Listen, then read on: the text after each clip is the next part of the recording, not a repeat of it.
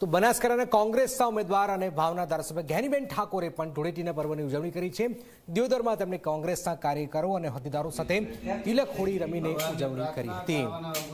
ઘેનીબેન ઠાકોર આ વખતે કોંગ્રેસના બનાસકાંઠાથી લોકસભાના ઉમેદવાર છે અને પહેલીવાર બનાસકાંઠાની અંદર ઠાકોર સમાજના ઉમેદવાર અને મહિલાને અહીંયા મેદાનમાં ઉતારાયા છે. તો બે મહિલાઓ વચ્ચેનો મુકાબલો ગુજરાતમાં સૌથી વધારે ચર્ચામાં છે.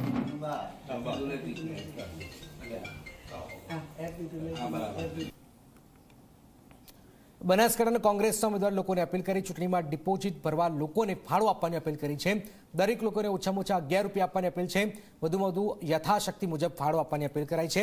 એકાઉન્ટમાં પૈસા નાખવા માટે ક્યુઆર કોડવાળી પોસ્ટ મૂકી છે. જ્ઞાનીબેન લોકોએ આપેલા ફાળાના પૈસાથી જ ડિપોઝિટ ભરશે, વાત પણ તેમણે કરી છે.